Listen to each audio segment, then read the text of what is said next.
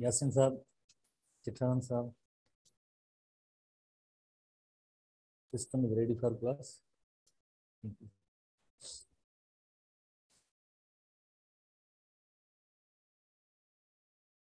Good morning students आज जैसे हम नए चैप्टर से स्टार्ट लेंगे. जेनेटिक्स का पोर्शन है. जेनेटिक्स का पोर्शन हमारे पीएमसी के सिलेबस में शामिल है. जो जेनेटिक्स के जो टॉपिक्स होंगे वही हम इस चैप्टर में डिस्कस करेंगे। तो जेनेटिक्स के हवाले से, जैसे ये लाइक आपको तस्वीर हमारे टेक्स्ट बुक के अंदर मौजूद है वेरियस चैप्टर्स के अंदर शायद है वेरियस बुक्स के अंदर। तो गिरेगर जहन मेंडल की है जिसे फादर ऑफ़ जेनेटिक्स कहते हैं। गिरेगर जहन मेंडल फादर ऑफ़ जेनेटिक्स है, जिसने पी प्लांट पे काम किया था और पी प्लांट पे उसके काम की वजह से उसे फादर ऑफ़ जेनेटिक्स करार दिया गया था।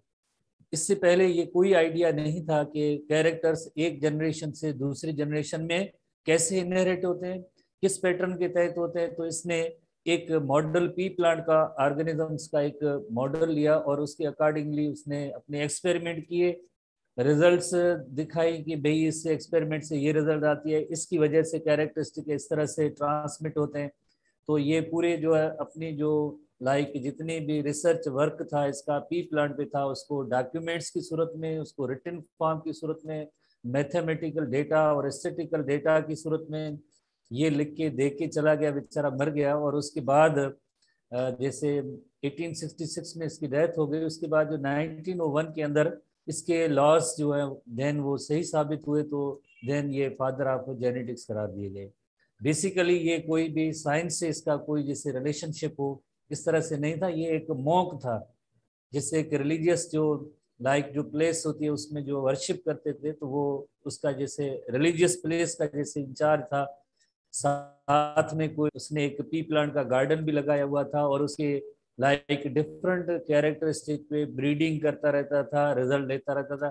तो ये ऐसी बातें हमारे जैसे लाइक जैसे कि सिलेबस में तो नहीं है बट हम इसकी जो है डिस्क्रिप्शन बता रहे हैं कि लाइक इसने किस तरह से काम किया था।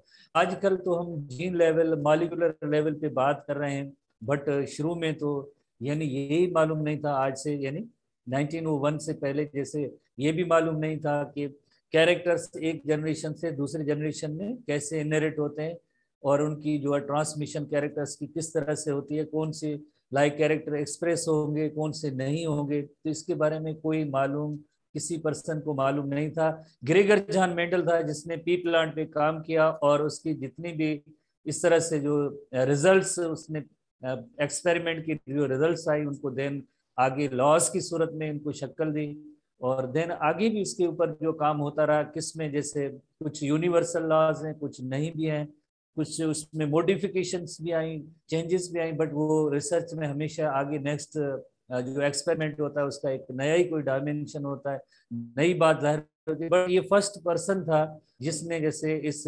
सब्जेक्ट पे जेनेटिक्स पे जैसे एक्सपेरिमेंट इसके थे, इस वजह से इसे हम कहते हैं father of genetics sir genetics को देखा है, उसकी मीनिंग क्या हो सकती है डेफिनेशन क्या हो सकती है? जैसे लोअर क्लासेस में थोड़ा बहुत इसको पढ़ाते हैं नाइन्थ क्लास की बायो में भी है, उसके बाद फ़र्स्ट ईयर में ये जो जेनेटिक्स की सेक्शन का लाइक कोई पोर्शन नहीं है इंटर क्लासेस में है बट काफ़ी जगहों पे इसको पढ़ा भी होगा, नहीं भी पढ़ा होगा, शायद हम ऐसे ही इसको पढ़ेंगे हम जैसे फ़र्स्ट टाइम पढ़ रहे हैं तो हमें समझ में आएगी। जेनेटिक्स को समझने के लिए थोड़ा सा सबसे पहले जैसे इसमें टर्मिनोलॉजी ज़्यादा इस्तेमाल होती है टर्म्स ज़्यादा इस्तेमाल होते हैं। जब तक हम ये टर्म्स नहीं सीखेंगे जब तक हमारी अप्रोच इन टर्म्स पे नहीं होगी जेनेटिक्स नहीं समझ में आएगी। तो जेनेटिक्स समझने से पहले जनरल एक डेफिनेशन थोड़ा सा आप देखें तो उससे आप अंदाज़ा लगाएँगे कि जेनेटिक्स की सिग्निफिकेंस क्या है। जैसे genetics study of heredity and variations study of heredity and variations और हेरिडिटी क्या होता है? जैसे एक जनरेशन से कैरेक्टर्स दूसरी जनरेशन में जाते हैं, उस अमल को जैसे कहते हैं heredity transmission of characters from one generation to the next generation एक जनरेशन से दूसरी जनरेशन में जो कैरेक्टरिस्टिक जाते हैं, उससे हम कहते हैं हेरिडिटी कहते हैं। ज़ाहिर है जब एक जनरेशन से दूसरी जनरेशन में कैरेक्टर्स जाते हैं थोड़ी सी चेंजेस भी आती हैं उनके अंदर वेरिएशंस भी आती हैं जिससे हम कहते हैं वेरिएशंस तो जेनेटिक्स किसकी स्टडी है? Study of heredity and variation heredity क्या है? Transmission of characters from one generation to the next generation अब क्वेश्चन अराइज कि ऐसी जो ट्रांसमिशन ऑफ़ कैरेक्टर्स किसके ज़रिए होगी? जैसे इवन मेंडल को नहीं पता था कि ये ट्रांसमिशन ऑफ़ कैरेक्टर्स जनरेशन से दूसरी जनरेशन जैसे हम कॉमनली एक एग्जांपल लेते हैं कि कैरेक्टर्स क्या होते हैं। जैसे फॉर एग्जांपल एक characters are transferred from one generation to next generation तो कैरेक्टर क्या है? तो हमारी बॉडी के अंदर जैसे ऑब्जर्वेबल जितने जैसे हम देखते हैं कि कोई भी एक कैरेक्टर ट्रेट है दैट इज़ कॉल्ड कैरेक्टर जैसे फॉर एग्जांपल स्किन कलर है, पर किसी भी पर्सन का स्किन कलर है। जैसे हम देखते हैं अफ्रीकन पीपल जनरली जिनके बारे में हमें पता है कि जनरली उनकी स्किन का डार्क स्किन होती है तो ये भी एक तरह से ट्रेट है। किसी भी पर्सन के जैसे हेयर्स जैसे अफ्रीकन पर्सन के हेयर्स जो करली होते हैं, ये भी एक ट्रेट है। तो हम देखते रहते हैं कि इन्हीं पर्सन में एक जनरेशन से दूसरी जनरेशन तक। उनकी स्किन की भी वही कलरेशन है और हेयर्स भी जनरेशन आफ्टर जनरेशन वही सेम जो है कैरेक्टरिस्टिक आते रहते हैं एक जनरेशन से दूसरी जनरेशन में। तो हम कहेंगे कि लाइक स्किन की जो लाइक कलरेशन है, वो एक कैरेक्टर है, वो एक ट्रेट है। एक जनरेशन से दूसरी जनरेशन में ये ट्रेट और कैरेक्टर कैसे जाता है? एक जनरेशन से दूसरी जनरेशन में ये ट्रेट या कैरेक्टरिस्टिक जाएगा जीन्स के ज़रिए। एंड जीन्स क्या है? जैसे जीन्स मेंडल को नहीं मालूम था, उसने कहा कि सर्टेन फैक्टर्स जीन्स की जगह पे उसने लफ्स इस्तेमाल किया कि फैक्टर्स की वजह से। उसको एग्जैक्ट नेचर ऑफ़ जीन का मालूम नहीं था। उसके पास ये आइडिया था कि लाइक कुछ ऐसे फैक्टर्स है जिनकी वजह से कैरेक्टर्स एक जनरेशन से दूसरी जनरेशन में कैरेक्टरिस्टिक को ट्रांसमिट करते हैं। बिकॉज़ इस वक्त जैसे हम कहते हैं कि जीन क्या है? डीएनए का एक सेगमेंट टुकड़ा पीस है, जिसके अंदर कैरेक्टरिस्टिक के लिए लाइक इंफॉर्मेशन मौजूद है। किसी भी कैरेक्टर चाहे इवन एक सिंगल मालिक्यूल भी क्यों ना हो, उसका भी लाइक एक मालिक्यूल भी एक जीन रेगुलेटेड होता है। तो यानी जीन्स क्या है? नथिंग बट जैसे हम कहें न्यूक्लियस है न्यूक्लियस के अंदर क्रोमोजोम है। क्रोमोजोम्स पे जो है, किसके बने हुए क्रोमोजोम्स डीएनए और प्रोटीन के बने हुए डीएनए और प्रोटीन के बने तो डीएनए का एक स्पेसिफिक सेगमेंट या टुकड़ा जो होगा, उसके अंदर इतनी इंफॉर्मेशन होती है कि किसी एक वेरियस जीन्स होते हैं, हर एक जीन के अंदर एक अलग इंफॉर्मेशन होती है, जो मीन्स उस कैरेक्टरिस्टिक को रेगुलेट करता है ट्रेड को रेगुलेट करता है, एक जनरेशन से दूसरी जनरेशन में वो सबब बनता है। अब नाउ क्वेश्चन अराइजेस कि लाइक जैसे सेक्सुअली रिप्रोड्यूसिंग ऑर्गेनिजम्स होते हैं, जिनके अंदर सेक्सुअल रिप्रोडक्शन होती है तो उसमें जैसे आपको पता है कि कोई भी ऑर्गेनिज्म, जैसे diploid organism two N, double N, two N तो यानी उसमें एक जो इंफॉर्मेशन है, जैसे आप देखें, आपने मेनी टाइम्स पढ़ा होगा कि किसी भी नए ऑर्गेनिज्म की स्टार्ट है या शुरुआत है, वो कहाँ से होती है? एक सिंगल सेल से होती है। और सिंगल सेल का यकीनन आपको नेम याद होगा जायगोट होता है। तो ये जायगोट कैसे बनता है? एग और स्पर्म की यूनियन से बनता है। एग और स्पर्म की यूनियन से बनता है। जिसे एक parent, male parent, sperm contribute करते हैं, फीमेल पेरेंट, एग सेल। तो यानी जो इंफॉर्मेशन जैसे स्पर्म में भी मौजूद है 23 क्रोमोसोम, उन पे भी जीन्स हैं 23 क्रोमोसोम एक सेल के, उनके अंदर भी एक इंफॉर्मेशन होती है। देन एग एंड स्पर्म की यूनियन जब होगी तो उसके रिज़ल्ट में वापस एक डिप्लॉयड ऑर्गेनिज्म बनेगा तो उसमें जैसे नंबर ऑफ़ क्रोमोसोम कितने हुए? 46 हुए 23 23 ह्यूमन बींग की बात करें। ह्यूमन बींग में तो नंबर ऑफ़ क्रोमोसोम 46 हो गए। तो उसमें जैसे आप देखें, कितने सेट है? एक सेम कैरेक्टर ट्रेट उसके सेट कितने? एक फादर साइड से इंफॉर्मेशन आ रही है, एक मदर साइड से इंफॉर्मेशन आ रही है। उससे एक न्यू और यंग वन जैसे ऑर्गेनिज्म बना रहे है। तो यानी हम कहेंगे जीन्स जो है पेयर की सूरत में होते हैं। किस सूरत में होते हैं? पेयर की सूरत में। एक जीन कहाँ से आता है? फादर साइड से, एक मदर साइड से आता है। अब क्वेश्चन अराइजेस अब कौन सा जीन जैसे एक्सप्रेस होना है? ये आगे हम आते हैं। तो हमें ये मालूम होना चाहिए कि जीन्स के पेयर की सूरत में होते हैं। एक फादर साइड से इंफॉर्मेशन मदर साइड से आती है। तो जितने भी ऐसे सेक्सुअली रिप्रोड्यूसिंग ऑर्गेनिज्म है, उनमें सब में ऐसे ही होता है। पेरेंट्स उनके जैसे एक मेल पेरेंट स्पर्म कंट्रीब्यूट करते हैं और फीमेल पेरेंट्स एक सेल कंट्रीब्यूट करता है, देन उनकी कॉम्बिनेशन होती है। तो उसके बाद यही कैरेक्टरिस्टिक एक्सप्रेस होने, कौन से होने, ये सारी चीज़ें इस लाइक आज के हवाले से जो हम टर्म्स सिर्फ़ टर्म्स पढ़ेंगे, समझेंगे कि मेंडल ने किस तरह से जो है अपना काम किया था, उसमें कौन सी टर्मिनोलॉजी यूज़ की थी लॉज कैसे उनके बने, ये आज हम बेसिक फंडामेंटल टर्म्स सीखेंगे। उसके बाद आहिस्ता आहिस्ता इनके लॉज की तरफ़ आते जाएँगे, ये सारी चीज़ें। सबसे पहले थोड़ा हमें एक आइडिया होना चाहिए कि जेनेटिक्स क्या है। Transmission of characters from one generation to next generation जब कैरेक्टरिस्टिक की ट्रांसमिशन होती है तो थोड़ी बहुत वेरिएशंस भी होती है तो इसे हम कहते हैं हेरिडिटी एंड वेरिएशंस की स्टडी को हम कहेंगे। हेरिडिटी एंड वेरिएशंस की स्टडी को जेनेटिक्स कहेंगे और जेनेटिक्स के अंदर जैसे कैरेक्टरिस्टिक की ट्रांसमिशन किसके ज़रिए होगी? जीन्स के ज़रिए होगी।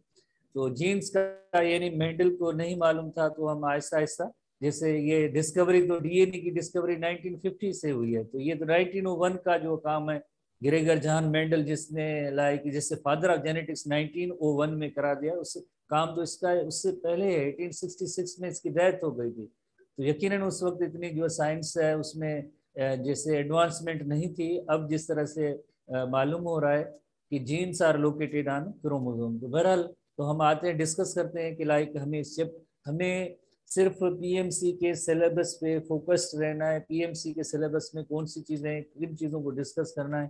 तो चैप्टर के अंदर उन्हीं चीज़ों को हम डिस्कस करेंगे। सबसे पहले हम आते हैं कि लाइक हमारे सिलेबस में जेनेटिक्स के हवाले से कौन सी चीज़ें शामिल है। जेनेटिक्स के हवाले से हमें इस पूरे पीएमसी के सिलेबस में क्या क्या पढ़ना है।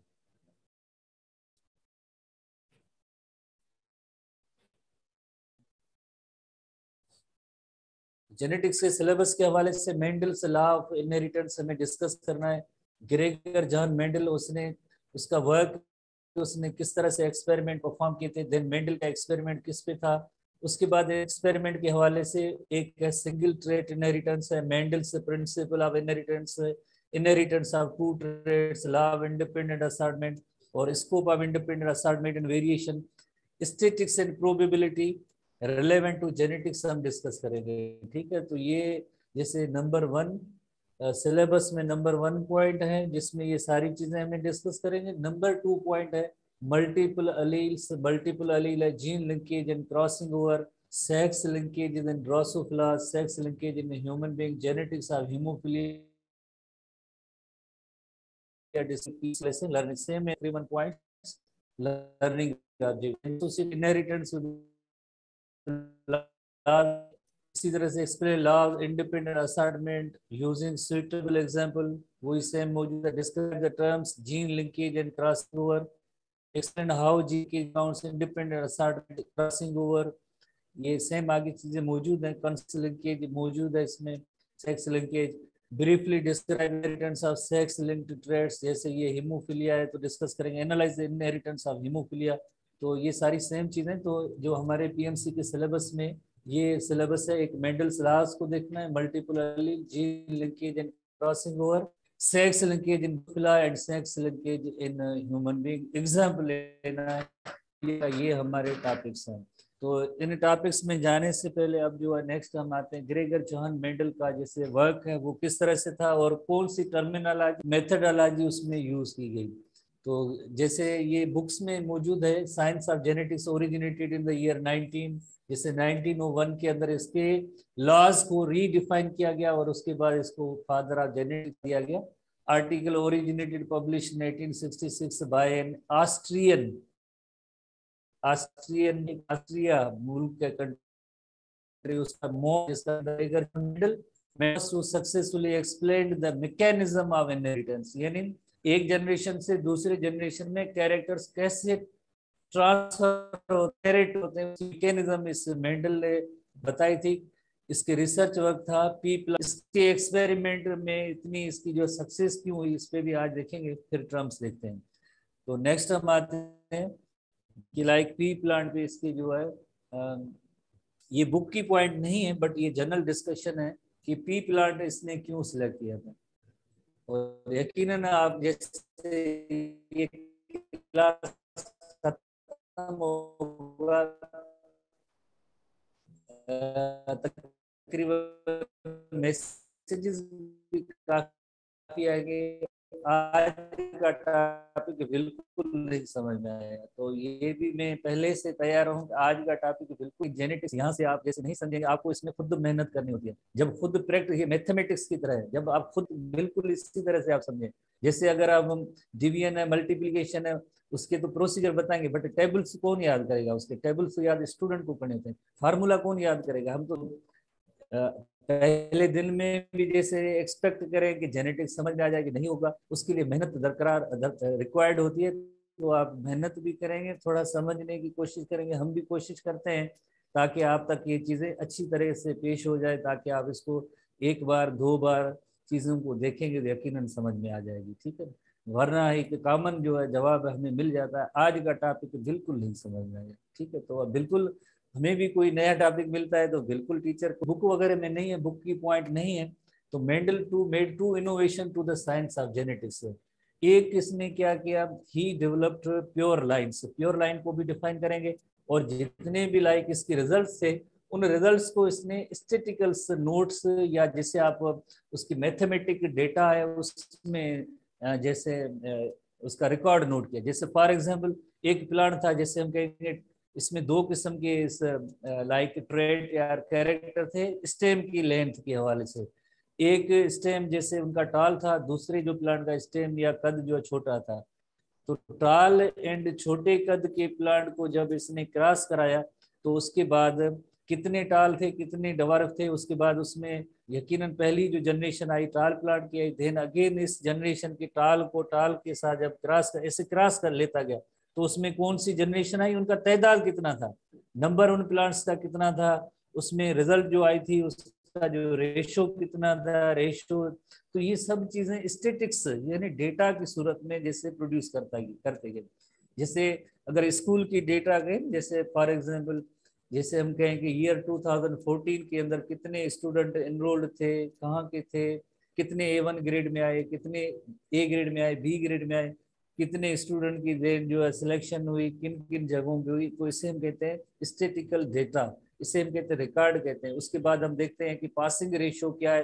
रिज़ल्ट देखते हैं ना कि भाई इतने परसेंटेज पास हुए, इतने पहले जैसे पीएमसी वाले या दूसरे भी इदारे होते हैं, जो भी टेस्ट लेते हैं, आखिर में कहते हैं इतने स्टूडेंट अपियर हुए, इतने पास हुए पासिंग रेशियो ये है ये है सक्सेस रेशियो तो इसी तरह से मेंडल ने भी यही सेम काम किया था। जब भी किसी प्लांट दो प्लांट्स कैरेक्टरिस्टिक वाले प्लांट को क्रॉस कराया तो उसकी जब भी इसको रिज़ल्ट मिलती थी तो रिज़ल्ट को नोट करता था।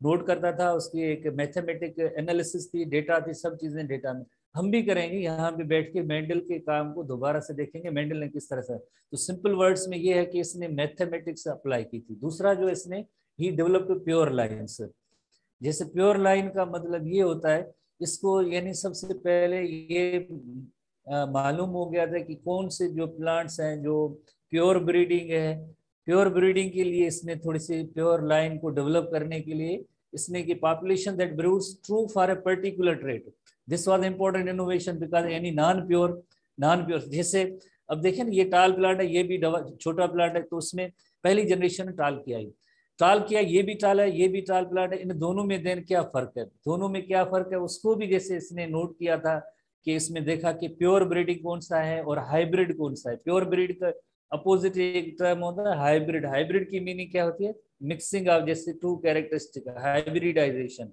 तो इसमें जैसे देखें ना, एक टाल प्लांट को डवार्फ के साथ क्रॉस कराया तो इसकी जो जीन्स हैं, उसमें दो किस्म के जीन्स है। बिकॉज़ पेरेंट्स दो हैं सेक्सुअल रिप्रोडक्शन में तो ज़ाहिर एक पेरेंट मेल गेमिट कंट्रीब्यूट करेगा, दूसरा फीमेल गेमिट कंट्रीब्यूट करेगा तो इनकी जीन्स की वजह से जैसे एक टाल कैरेक्टर आया तो इस टाल में और इस टाल में फ़र्क है। जैसे ये प्योर ब्रीडिंग है और ये हाइब्रिड टाल है। ये प्योर ब्रीडिंग है और ये हाइब्रिड टाल है। इसको इन्होंने बिल्कुल प्लांट्स को अलग किया कि टाल कौन से प्योर ब्रीड कौन सी वेराइटी है और हाइब्रिड कौन सी है, ये इसने थोड़े से इसकी मेहनत की, थोड़ा रिज़ल्ट मिल गए कैसे किया तो हम उस पर आते हैं बट इसमें इसके सक्सेस के जैसे ये दो सबसे बड़े रीजन है कि इसने देखा कि प्योर ब्रीड कौन से हैं हाइब्रिड कौन से हैं मैथमेटिक अप्लाई की मैथमेटिक्स स्टेटिक्स अप्लाई की कि कितने प्लांट्स जैसे उसके रिज़ल्ट का रेशो का क्या आता है तो वही आगे जो लास्ट बनते रिसर्च के अंदर आगे मैथमेटिक्स स्टेटिक्स जो है बहुत ज़्यादा इस्तेमाल होती है, जो उसकी सक्सेस में लाइक मेंडल के वर्क की सक्सेस की ये रीज़न थे। बुक की पॉइंट नहीं है, मैं जनरली ऐसे हम यहाँ पे डिस्कस करें तो मेंडल ने जिस तरह से जो काम किया था, जैसे एक उसने क्रॉस कराया, जैसे टाल और डवर्फ का कराया, जैसे और इसी तरह टाल और डवार प्लांट को कराया तो यानी पहली जनरेशन उसकी टाल की निकली। तो टाल की निकली तो उसमें क्या रेशो आए कितने टाल थे, कितने डवार्फ थे? वो सब उसने मैथमेटिक्स की सूरत में कैलकुलेशन की सूरत में इसने जैसे वो सब जो है डॉक्यूमेंट्स को रिकॉर्ड किया। उसके बाद जैसे हम देखेंगे कि लाइक मेंडल ने पी प्लांट को क्यों सेलेक्ट किया? पी प्लांट बाकी क्या कोई प्लांट नहीं मिला था? या बाकी कोई एनिमल कोई ऐसा नहीं था इर्द गिर्द इसने पी प्लांट की जो है क्यों सिलेक्शन की? जिसकी वजह से आगे इसकी जो है लाश बनने में आसानी हुई। तो उसका रीजन ये है, इसकी फ्लावर की स्ट्रक्चर इसके पी प्लांट की एक फ्लावर की स्ट्रक्चर इस तरह की है। जैसे आप फ़र्स्ट ईयर एसटीबी बुक के अंदर जब फैमिलीज़ पढ़ते हैं तो उसमें एक फैमिली है पी फैमिली पी फैमिली पेपियलियस फैमिली पी फैमिली एक फैमिली है। उसके अंदर खास तौर पे एक पेटल की फीचर है। उनकी जो, जैसे आप फ्लोरल फीचर्स को डिस्क्राइब करते हैं ना फ्लोरल फीचर्स को जब डिस्क्राइब करते हैं तो फ्लावर की फीचर्स को डिस्क्राइब करते हैं। उस पेपिल यूनिशियस करोला के अंदर एक स्पेसिफिक एक अरेंजमेंट होती है। अगर किसी को मालूम है कि वो उस पेटल के अंदर क्या खास अरेंजमेंट है, कोई स्टूडेंट बता सकता है। ऐसे ना कहें कि हमने नहीं पढ़ा था हमें तो फ़र्स्ट ईयर में पढ़ा ही नहीं था। अगर मालूम है तो बता दें। पी प्लांट की एक करोला की खास फीचर है। तादाद भी उसमें, उस फैमिलीज़ के अंदर मौजूद है कि पेटल्स की तादाद कितनी होती है, क्या अरेंजमेंट है? पेटल्स जो शोई पार्ट होता है अट्रैक्टिव पार्ट है। यासिन साहब, कोई रिप्लाई आ रहा है? नहीं आ रहा पी फैमिली के अंदर जो पेटल्स होती हैं, उनमें उनकी तादाद फाइव होती है। एक बहुत ही बड़ी पेटल होती है। एक बहुत ही बड़ी पेटल होती है। उस पेटल का नेम होता है स्टैंडर्ड आर वैक्सिलम उस पेटल का नेम होता है स्टैंडर्ड या जिससे वैक्सिलम कहते हैं। टोटल फाइव जो है पेटल्स होती हैं, जिसमें एक पेटल होती है जो बड़ी है शोई है कंस्पिकुअस है। जैसे ये पेटल आपको नज़र आ रही है, बहुत ही बड़ी पेटल है। इसी तरह से दो पेटल्स ऐसी होती है जो साइड में होती है, छोटी पेटल्स हैं, जिन्हें हम कहते हैं विंग कहते हैं। जैसे ये विंग होती है, दो विंग्स होती हैं। और इसी तरह से दो ऐसी पेटल्स होती हैं जो फ्यूज टूगेदर और keel are carina like keel like structure बनते हैं। जिसे कहते हैं कील आर कैरिना कील या कैरिना तो ये दो होती है एक्चुअली और फ्लोरल फार्मूला में भी ऐसे लिखा हुआ अगर आप स्टूडेंट्स को याद है C one plus two plus two ये आपको जेनेटिक्स से आप इसका रिलेशन ना बताएँ कि ये क्या है, हमें नहीं समझ में आया। मैं आपको फ़र्स्ट ईयर की पॉइंट याद दिला रहा हूँ कि इस तरह की पेटल होती है। जैसे बहुत ही बड़ी पेटल लार्ज शोई कंस्पिकुअस जो बाकी सारी स्ट्रक्चर के ऊपर कवर देके, यानी उसमें प्रेजेंस मौजूद है। उस पेटल का नेम है स्टैंडर्ड आर वेक्सिलम। दो एक दूसरे से अलग होती है, जिन्हें कहते हैं विंग्स कहते हैं, और दो फ्यूज टूगेदर, जिसे कहते हैं कील तो इस पेटल की खास बात क्या थी? मेंडल को शायद मालूम ना हो। पेटल की खास बात यह है कि इसके अंदर सिर्फ़ और सिर्फ़ सेल्फ पोलिनेशन हो सकती है, क्रॉस पोलिनेशन नहीं हो सकती है, क्योंकि बाकी जो मेल, फीमेल रिप्रोडक्टिव स्ट्रक्चर है, वो सब इसके अंदर जो छुपी हुई है। क्रॉस पोलिनेशन की मीनिंग होती है, जैसे बाहर से कोई पोलन ग्रेन आए, इसी प्लांट को आके स्टिग्मा भी आके लैंड करें पोलिनेशन हो पोलिनेशन हो देन फर्टिलाइजेशन हो, एक स्पर्म की यूनियन हो, ऐसी पॉसिबिलिटी नहीं थी। तो देखिए, ये सबसे बड़ी पेटल थी। तो मेंडल ने जो वर्क किया था मेंडल के वर्क के अकॉर्डिंगली इसने हमेशा ये किया, जब भी इसको जैसे दो डिफरेंट ट्रेड्स उसमें लेने थे तो ये बहुत ज़्यादा मेहनत इस तरह से करता था। देखें, ये लार्ज शोई पेटल मौजूद है जिससे कि उसके अंदर जैसे मेल फीमेल रिप्रोडक्टिव पार्ट्स मौजूद है। ये फीमेल रिप्रोडक्टिव पार्ट है जिससे पिस्टल आर कार्पल कहते हैं। इसी तरह से मेल रिप्रोडक्टिव पार्ट जिसे हम, जैसे ये ओवरऑल स्टेमन कहेंगे बट उसका ये एंथर होता है और एंथर के अंदर पोलन ग्रेन्स मौजूद होते हैं। तो पोलन ग्रेन्स आपको पता है, आगे मेल गैमिटोफाइट बनाएँगे, जिसमें स्पर्म्स बनते हैं। ठीक है फ़र्स्ट ईयर की नॉलेज है, आपको पता होनी चाहिए।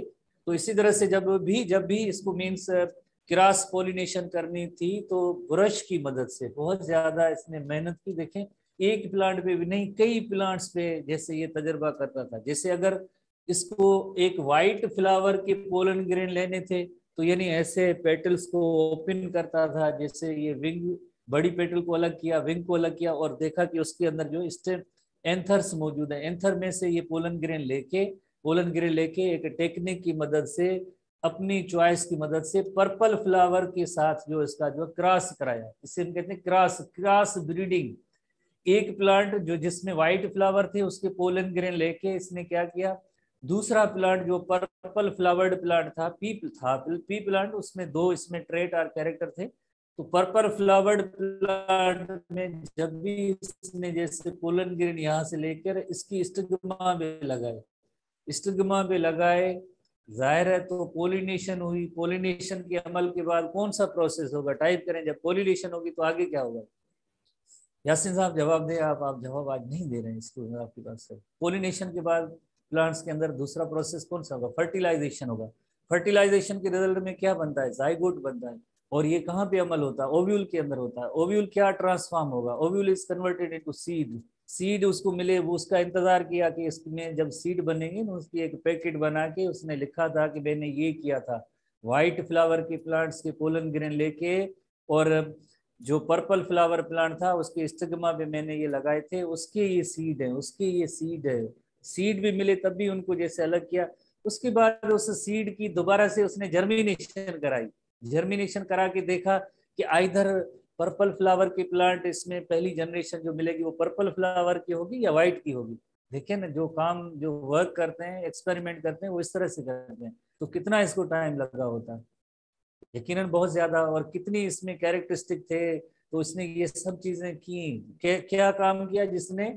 जैसे एक पी प्लांट ऐसे भी होते हैं जिनमें व्हाइट फ्लावर होता है, जिसके एंथर में से जो पोलन ग्रेन लिए और पर्पल जो पी प्लांट था पर्पल पी प्लांट था, उसकी जो स्टिग्मा पे जाके ये लगाए ब्रश की मदद से देन जो है पोलिनेशन हुई फर्टिलाइजेशन हुई और इसी स्ट्रक्चर में सीड बना। जैसे ये देखें पी का जो है पोर्ट बना, उसके अंदर जो है ये सीड पड़े। सीड जब बने, उसके बाद सीड को इसने ज़मीन में लगाया और उसमें जो दोबारा से जो नए प्लांट बने ना तो पहली जनरेशन जो निकली, यानी एक पर्पल प्लांट जो फीमेल प्लांट और वाइट जो फ्लावर्ड प्लांट जो मेल था और इनके पोलन और पोलन लेके जब स्टिग्मा पे लगाए पोलिनेशन फर्टिलाइजेशन हुई तो ज़ाहिर प्लांट है उसके अंदर सीड बनेंगे और सीड में से जब इस सीड को ज़मीन के अंदर लगाया तो ये जो जनरेशन जो इस जनरेशन जो इसने लग, लगाई थी ये सीड से इस जनरेशन को कहते हैं पहली जनरेशन ये पेरेंट्स हैं। ये दोनों पेरेंट्स है, ये भी पेरेंट है और ये भी पेरेंट है। व्हाइट और पर्पल फ्लावर के जो है, ये पी प्लांट के पेरेंट है। पेरेंट वाली जनरेशन को कहते हैं P generation or P one generation parent वाली जनरेशन होगी, उससे हम कहेंगे P generation or P one generation कभी कभार पी वन भी कहते हैं। P stand for parent parent plant कौन से थे? पेरेंट प्लांट एक पर्पल फ्लावर प्लांट था। दूसरा प्लांट कौन सा था? पेरेंट व्हाइट था। और इसमें जैसे पोलन और जैसे पोलिनेशन का अमल हुआ, और पोलिनेशन यानी कौन सी पोलिनेशन है? ये सेल्फ है क्रॉस पोलिनेशन आप मुझे बताए, ये जो अमल हो रहा है। जेठान साहब सेल्फ पोलिनेशन या क्रॉस सेल्फ क्रॉस लफ्ज लिखे। कौन सी पोलिनेशन है? क्रॉस पोलिनेशन यासिन साहब, आपका जो जवाब आ रहा है, सही है क्या है? सेल्फ है या क्रॉस है? Cross pollination exactly cross pollination self pollination क्यों नहीं हुई? जैसे अगर हम कहें सेल्फ पोलिनेशन ये क्रॉस पोलिनेशन हमेशा इसने मेंडल ने अपने चॉइस से की, वरना अदरवाइज़ इनकी फ्लावर की ऐसी स्ट्रक्चर है जिसमें सेल्फ पोलिनेशन होती है, जिसमें सेल्फ पोलिनेशन नेचुरली होती है। क्रॉस पोलिनेशन हमेशा जो एक्सपेरिमेंट की मदद से होगी, जब कोई पर्सन इस तरह से करेगा तो होगी अदरवाइज़ हमेशा इनके अंदर सेल्फ पोलिनेशन होती है। तो क्रॉस पोलिनेशन के रिज़ल्ट में क्या बनेगा? यानी जैसे आपको पता है, हमने जैसे एसटीबी बुक के अंदर भी मौजूद है कि जैसे सेक्सुअल रिप्रोडक्शन होती है तो प्लांट्स सीड प्रोड्यूस करते हैं। सीड की जर्मिनेशन होगी तो आगे उसमें एक न्यू ऑर्गेनिज्म बनता है, जिसे सीडलिंग कहते हैं। तो इसी तरह से जो सीडलिंग बना और जो आगे ये प्लांट ग्रो किया, देखिए टाइम कितना लगा होगा। पोलिनेशन कराए, ये प्लांट उसमें, उसके बाद उसमें सीड लगे। सीड के बाद जैसे दोबारा एक सीज़न आई प्लांट पी प्लांट के ग्रोइंग सीज़न आए तो उसमें इसने प्लांट जो लगाए थे प्लांट लगाए थे, बड़े हुए बाद में देखा कि अच्छा इसमें पर्पल फ्लावर हुआ। तो इसने अंदाज़ा लगाया कि ये जो पर्पल फ्लावर का कैरेक्टर है, ये डोमिनेंट है। रिसेसिव फ्लावर व्हाइट कलर जो है, ये रिसेसिव है, क्योंकि ये एक्सप्रेस नहीं हुआ। पहली जनरेशन के अंदर आप देखें हैं, पहली जनरेशन के अंदर कोई व्हाइट फ्लावर का प्लांट है, जैसे देखें purple purple purple purple purple purple सब पर्पल है। तो यानी इसने कहा कि ये जो पर्पल फ्लावर का जो कैरेक्टर है कैरेक्टर आर ट्रेट इसे हम क्या कहेंगे? कैरेक्टर या ट्रेट कहेंगे। Character or trait purple flower का जो ट्रेट आर कैरेक्टर है, ये डोमिनेंट है। ये डोमिनेंट है। और व्हाइट फ्लावर का जो ट्रेट आर कैरेक्टर है, ये रिसेसिव है। डोमिनेंट और रिसेसिव क्यों? इसे कब, कैसे पता चला? बिकॉज़ जब इन दो फ्लावर डिफरेंट कैरेक्टरिस्टिक वाले डिफरेंट कैरेक्टर वाले लाइक इन प्लांट्स की क्रॉस पोलिनेशन कराई, या सिंपली हम कहीं क्रॉस ब्रीडिंग कराई, या सिंपल कहीं क्रॉस कराया। हम इसे क्रॉस भी कहते हैं। जैसे ये क्रॉस कराया इसने, क्रॉस ब्रीडिंग कराई। तो उसके रिज़ल्ट में जब भी जैसे इसमें सीड बने, सीड के बाद इसकी जर्मिनेशन हुई और न्यू प्लांट बना तो सब के सब जो पर्पल फ्लावर के प्लांट आए तो इसने अंदाज़ा लगाया पर्पल फ्लावर प्लांट के सब पर्पल फ्लावर के प्लांट्स आए तो इसने लगाया पर्पल इज़ डोमिनेंट यानी जो पहली जनरेशन के अंदर कैरेक्टर आया, उसके लिए इसने कहा कि ये डोमिनेंट होगा। जो पहली जनरेशन में एक्सप्रेस ना हो सका, वो रिसेसिव हो गया। तो इसके बाद ही इसने व्हाइट के लिए, वरना शुरू में तो पता नहीं था कौन सा डोमिनेंट है, कौन सा रिसेसिव है। शुरू में मेंडल को नहीं पता था। मेंडल ने यही देखा कि पी प्लांट के अंदर जो है, दो किस्म के फ्लावर्स मौजूद हैं। दो किस्म के कलर्स वाले फ्लावर मौजूद हैं। एक पर्पल फ्लावर के कलर्स के जो प्लांट मौजूद हैं दूसरे व्हाइट के। उसने कहा कि ये पर्पल और व्हाइट क्यों है? अगर इनका हमने क्रॉस ब्रीड कराऊं तो कौन सी जनरेशन निकलेगी? तो उसने देखा कि सब पर्पल निकले तो इससे अंदाज़ा उसने लगाया कि जो पर्पल फ्लावर्ड प्लांट है, ये डोमिनेंट कैरेक्टर है और जो व्हाइट फ्लावर्ड जो प्लांट होगा, ये रिसेसिव कैरेक्टर इसका रिसेसिव है। क्योंकि पहली जनरेशन में जो कैरेक्टरिस्टिक एक्सप्रेस होता है, उसे हम कहते हैं कि ये डोमिनेंट है। आई थिंक आपको डोमिनेंट और रिसेसिव का मतलब समझ में आ गया। यस या नो में मुझे बताएँ तो अदरवाइज़ हम आगे नहीं चलेंगे। यस या नो में। डोमिनेंट रिसेसिव क्या था? यासिन साहब yes no yes no dominant किससे कहते हैं? रिसेसिव किससे कहते हैं? डोमिनेंट किससे कहते हैं? रिसेसिव किससे कहते हैं? समझ में आई बात कि ये डोमिनेंट हुआ और ये रिसेसिव हुआ। पेरेंट पी जनरेशन क्या होती है? ये समझ में आया? P generation P generation P generation that that are parents वो पेरेंट्स हैं। उसके बाद जो पहली जनरेशन निकली, उसे क्या कहेंगे? पहली जनरेशन फ़र्स्ट जनरेशन जिसे एफ़ वन जनरेशन कहेंगे। फ़र्स्ट जनरेशन जो है एफ़ वन एफ़ लफ्स की मीनिंग होती है फिलियल फिलियल लफ्स से निकला है। फिलियल लफ्स की लिटररी मीनिंग होती है सन सन या औलाद जिसे कहें या ऑफ़ स्प्रिंग कहें। पहल, पहली नस्ल। पेरेंट्स अपने जो यंग वन को जैसे जो प्रोड्यूस हुए, उनकी पहली यानी नस्ल first generation F one generation इसी तरह से एफ़ वन जनरेशन के बाद आगे एफ़ टू भी होती है। आगे जब जब इसने क्रॉस कराया तो एफ़ थ्री भी होती है। इसी तरह से आगे मेंडल का काम बढ़ता गया। तो मेंडल ने सबसे पहले कौन सा काम किया? सबसे पहले इसने देखा कि एक प्लांट ऐसे है जिनके अंदर फ्लावर्स का कलर पर्पल है, दूसरे प्लांट ऐसे हैं जिनके फ्लावर्स का कलर व्हाइट है। इसको आइडिया ही नहीं था कि इसमें कौन सा डोमिनेंट है, कौन सा जस्ट इसने ये किया, दो प्लांट्स हैं, उनको जैसे व्हाइट के जैसे पोलन ग्रेन लिए और जाके फीमेल जो प्लांट जो यानी दूसरा प्लांट था, उसके फ्लावर के स्टिग्मा पे जब ये पोलन ग्रेन इंट्रोड्यूस कराए तो उसके बाद जैसे पोलिनेशन हुई फर्टिलाइजेशन हुई सीड बने सीड की जर्मिनेशन इसने कराई। तो सारे प्लांट्स इसको, यानी एक उसमें पर्पल फ्लावर्ड प्लांट नज़र आए। तो इसने कहा कि अच्छा ये सब पर्पल आते हैं। एक पे नहीं किया काफ़ी सारे सीड थे इससे काफ़ी सारे सीड थे, सब लगाए। तो सबके अंदर जैसे पर्पल फ्लावर कोई वाइट नहीं आया। तो उसने इस पर्पल फ्लावर के कैरेक्टर को कहा कि ये डोमिनेंट है, और जो एक्सप्रेस नहीं हो सका, वो व्हाइट कलर का फ्लावर था, वो रिसेसिव है। और जो पहली जनरेशन यहाँ पे निकली, पहली जनरेशन निकली उसके लिए फ़र्स्ट जनरेशन के लिए एफ़ वन जनरेशन उससे एफ़ वन जनरेशन उसे कहेंगे।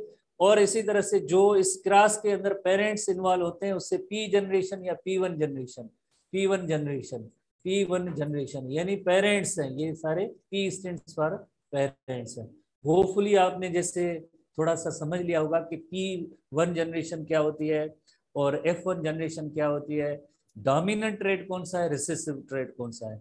ठीक है, समझ में आई बात या नहीं है यासिन साहब अगेन यस या नो मुझे जवाब दें। जेठान साहब, फिर हम आगे चलते हैं कि मेंडल का काम किस जी?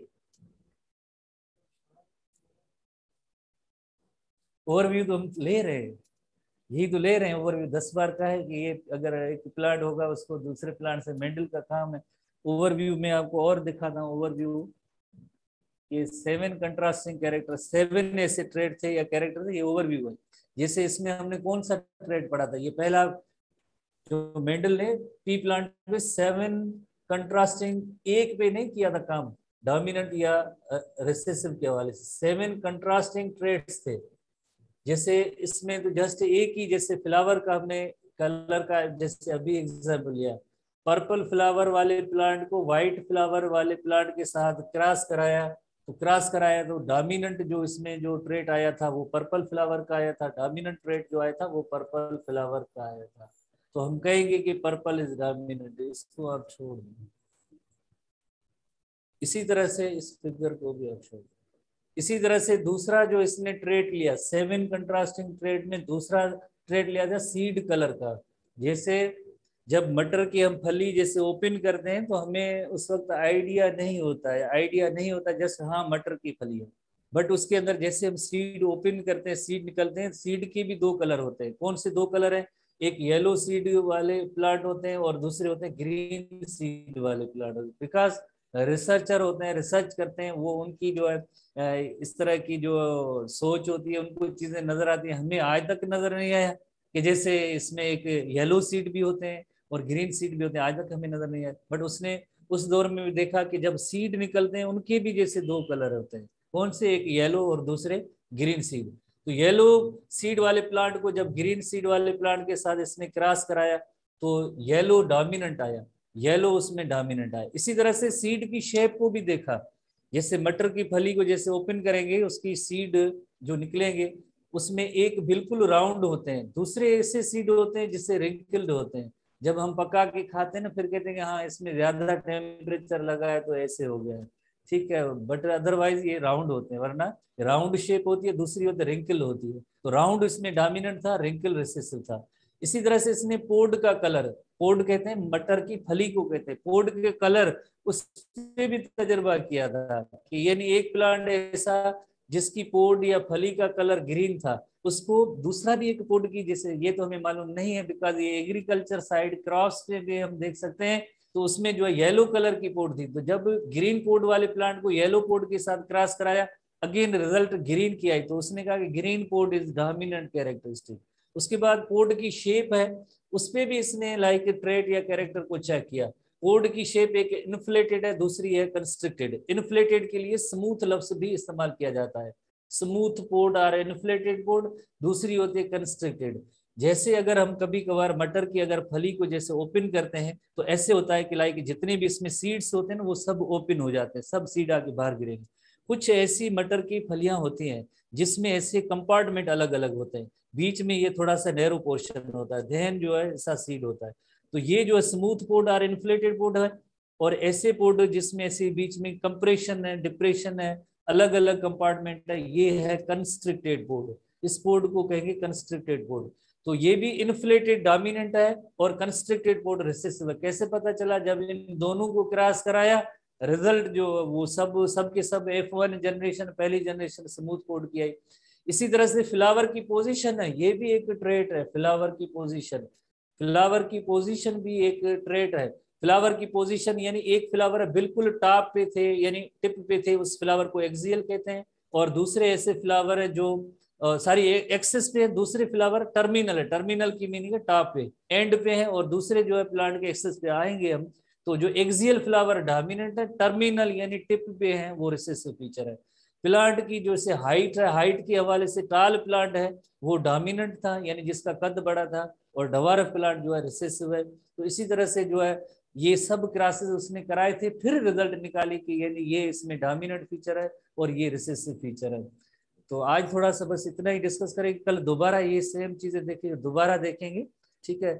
ऐसे ना कहेंगे हमें बिल्कुल समझ में नहीं आया, अब घर जाके थोड़ा सा इन कैरेक्टरिस्टिक को देखें या आज जो चीज़ें पढ़िए कल यही सेम सेम दोबारा पढ़ेंगे और ऐसा मैसेज कभी नहीं करना कि आज तो बिल्कुल ही नहीं समझ आया। और अनदर पॉइंट के स्टूडेंट पूछ रहे हैं कि what is syllabus of GT endocrine system endocrine glands के सारे गिलैंड्स जो हाइपोथैलेमस से स्टार्ट होते हैं, जाके टेस्टिस तक है।